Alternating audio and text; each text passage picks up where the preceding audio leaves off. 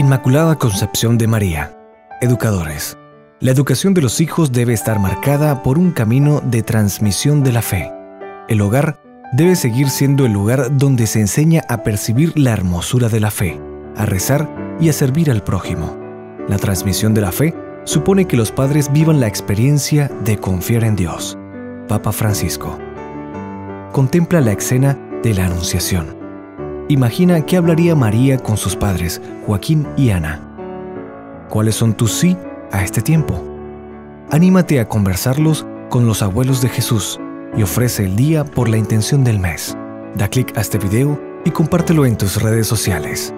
Click to Pray, Red Mundial de Oración del Papa.